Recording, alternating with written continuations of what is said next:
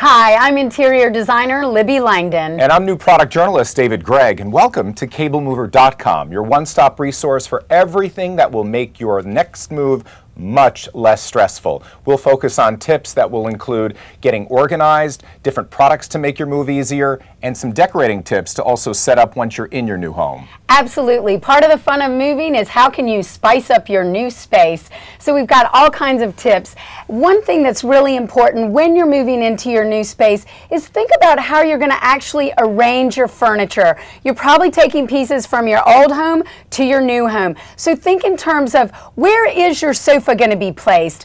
Where's your bookshelves going to go? Where is your all important television going to go? We know that so often in living rooms, we're really building the room around the TV. That is a big focal point. And technology is so important in any home these days. And that's why it's fun to hear some of the ideas that David has on how to incorporate and get technology up and running in your space. And you'll notice on the website, there's actually a section that allows you to proactively schedule the disconnect of your service and then schedule the reconnection no matter where you're moving in the country. And you can all do it right there on this website just by entering in information. You could even save money, which is a good thing and hard to do with a move, by finding out what the local cable company in your area is providing as far as deals for services such as your telephone, your internet, your cable. So when you unpack, those services are ready to go and deliver to you and make a seamless moving experience and hopefully reducing some of that stress associated with a move.